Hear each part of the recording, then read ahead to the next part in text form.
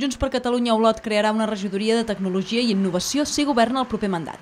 Aquesta recauria en Agustí Arbós, una de les cares noves de l'equip que ocupa el número 7 de la llista. Les millores tecnològiques estan transformant la nostra societat des de tots els àmbits, no? des de l'àmbit social, domèstic, laboral, i a més a més ho estan fent d'una manera molt ràpida i competitiva, eh, sobretot pel que fa al món digital, i s'està fent amb grans esforços per part del món privat, també cert, també molts esforços per part de les institucions.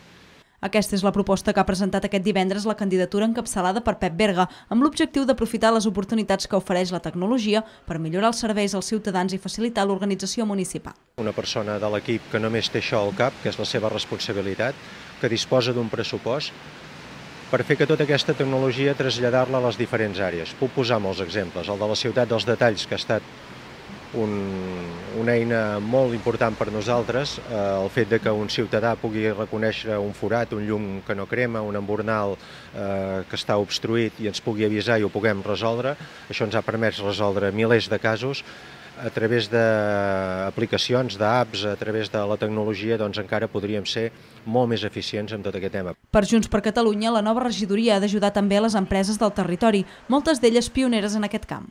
Tenim un teixit econòmic molt interessant, eh, amb aquests sectors emergents i ens sembla que com a Ajuntament hem de també tenir eines i donar resposta a tot aquest teixit econòmic tan important.